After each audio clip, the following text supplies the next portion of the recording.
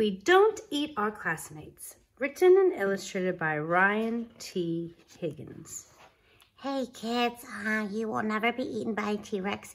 They are extinct. I promise. Penelope Rex was nervous. It's not every day a little T-Rex starts school. Oh, I just don't know. I'm so nervous. What are my classmates going to be like? Will they be nice? How many teeth will they have? This was very important.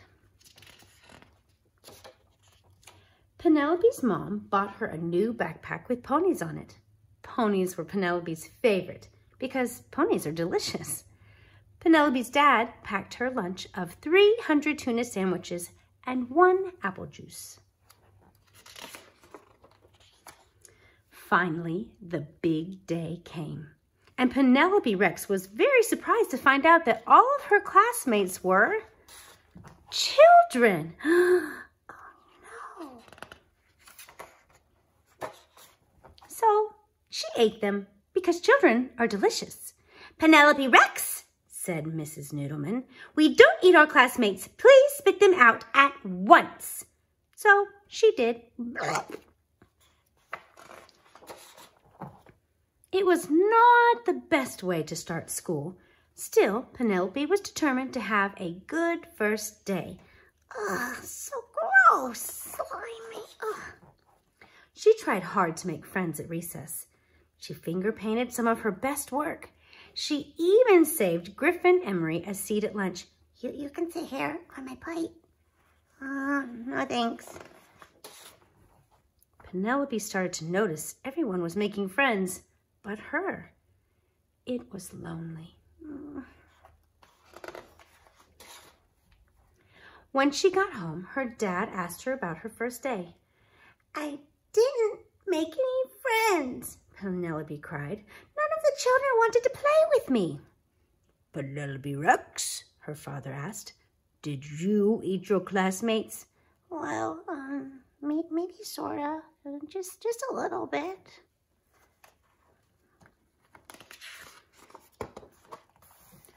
Sometimes it's hard to make friends, said her dad, especially if you eat them. You see, children, Penelope, are the same as us on the inside, just tastier. That gave Penelope a lot to think about. The next day, Penelope tried really hard. Poor Penelope, she could not stop herself from eating her classmates. Miss Noodleman, Penelope A. William Amoto again. Penelope? And they were all afraid of her. Except Walter. Walter was a goldfish. So Penelope tried to make friends with him. Will you be my friend?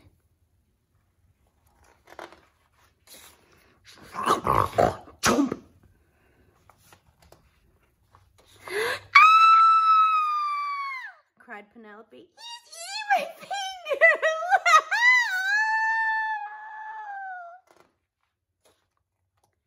Once Penelope found out what it was like to be someone's snack, she lost her appetite for children.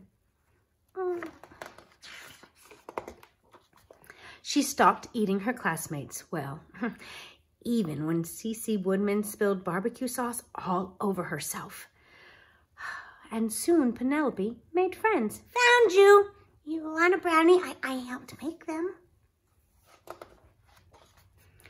Now, even when children look especially delicious, she peeks at Walter and remembers what it's like when someone tries to eat you. Oh, it wasn't fun. And Walter, the goldfish, stares right back at her and licks his lips.